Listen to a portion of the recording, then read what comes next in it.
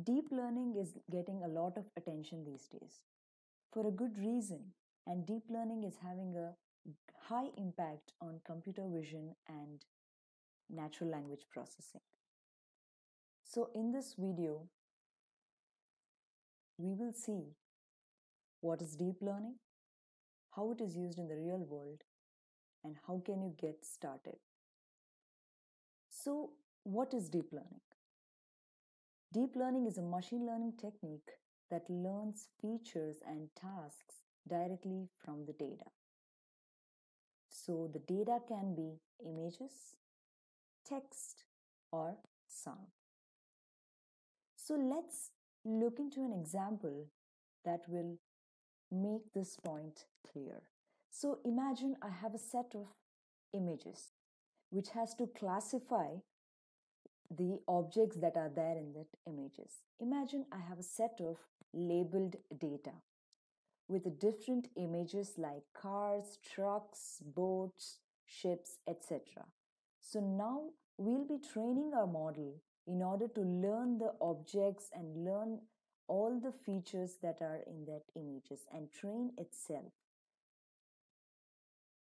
and then classify it as a car, truck, or a bicycle or a boat or a ship.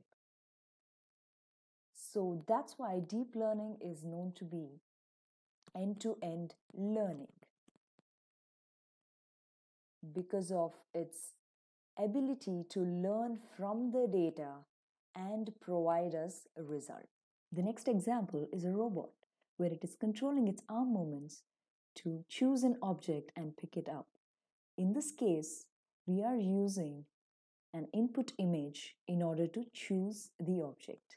The techniques used in deep learning today were there years ago. For example, deep learning techniques were used to recognize the postal codes in the 90s.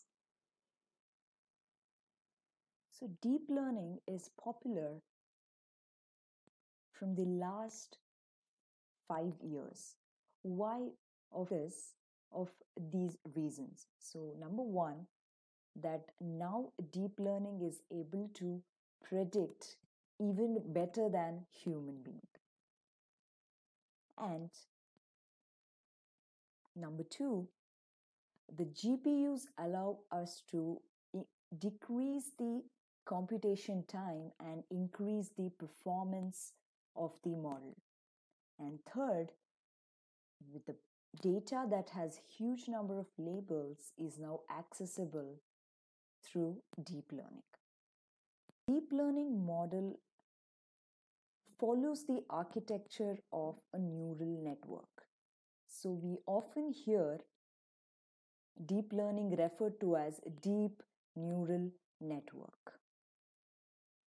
One of the famous deep neural networks is a convolutional neural network. The term deep is represented in order to specify how many hidden layers a neural network contains.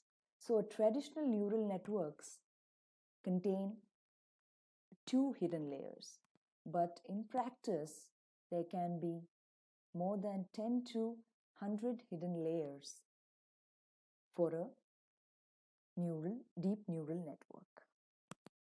This overview was helpful in order to understand the basic of what is deep learning and its real world applications. Thank you.